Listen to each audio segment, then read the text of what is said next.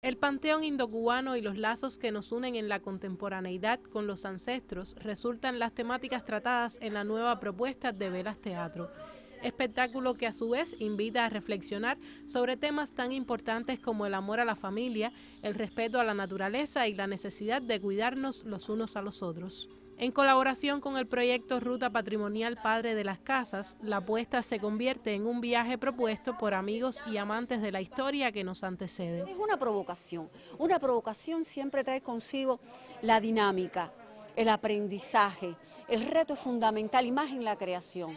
Así que este es el resultado de ese trabajo. La comunicación del patrimonio a través del arte realmente es una de las herramientas que a nosotros nos, eh, nos atrae más eh, para poder llegar y tocar el, corazón de las personas, o sea, transmitir todo este conocimiento de una manera diferente. Así que nosotros estamos realmente muy orgullosos con el resultado, con el hecho de que Daisy y el grupo Velas Teatro pues haya cogido esta idea que resultó ser todo un reto y el resultado es sencillamente eh, hermoso. De esta forma se enaltece la historia aborigen que en numerosas pasa desapercibida, pero que sin dudas nos dejó un legado incalculable.